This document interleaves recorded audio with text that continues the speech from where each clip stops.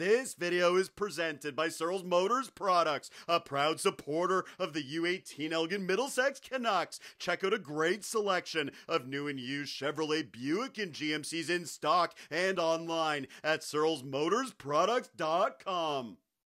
The Elgin Middlesex Canucks returning to home ice on Friday night. The Canucks looking to continue their winning ways as they battled the Huron Perth Lakers. Opening period, it's a good opportunity for the Lakers. Caden McDonald with a nice feed to Simon McCandless. Zach Irvin is there for the stop. No score after 20 minutes. Second period, the Canucks open the scoring on this play. They work it around to Xander Kishko, and he puts it in. That's a power play marker. Elgin takes the lead, and they're looking for more. Xander Kishko center for Lucas Laprise. Brandon Balcar with a glove stop for Huron Perth. He keeps it out. Later in the second, the puck is loose in front. Big stop from Zach Irvin. He keeps it a 1 0 Canucks lead. And that was huge because a few minutes later, Aiden McDonald finding space in front and he scores. McDonald makes it 2 0 EMC after two periods. Back to the highlights in a minute. First, a reminder this video is presented by Searles Motors Products, a proud supporter of the U18 Canucks.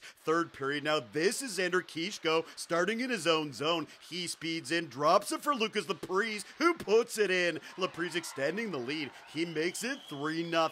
A few minutes later, how about this stop from Brandon Balcar? He absolutely robs Colson Joyce. Still 3 0. Back the other way, the Lakers strike. The puck comes to Caden McDonald and he scores. Huron Perth is on the board. They now trail 3 1, but the Canucks answer two minutes later. Braden Clark with a point shot and he's got a goal. Clark with the dagger and it's a Canucks victory. They win it. 4 1 is the final on Friday night.